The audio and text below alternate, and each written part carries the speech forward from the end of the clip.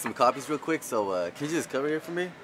Oh, yeah, sure. Yeah, All right. just don't do any returns or exchanges. I'll be right back. All right. Thanks. Hey, um, I'd like to make a return. Okay, uh, what kind of return? Uh, like a bag of cereal.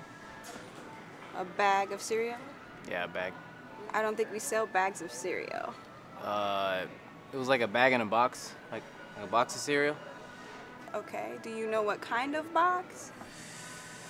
You know, uh, kind of like that brown, exactly that brown box that man has over there. That box right there? Yes. Okay, um, do you have your receipt with you?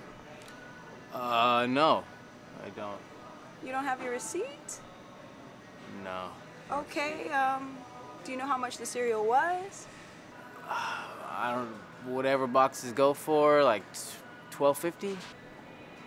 Um, I don't think they're going for twelve fifty. It was a pretty high quality cereal, though. Um, how about I'll print you a receipt, um, give you store credit. I need money. Um, okay, I'll just go ahead and make the exception and just go ahead and give you the money, okay? Yeah. Okay. Good.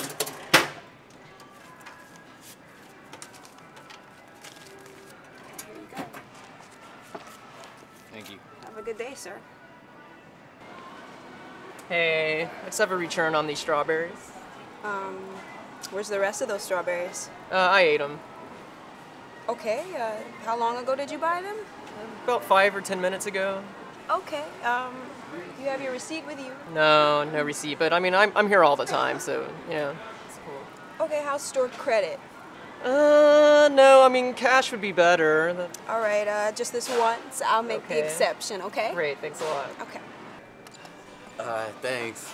Everything good? Uh, yeah. Oh, uh, no returns or anything? No, no. Nah? Alright, cool.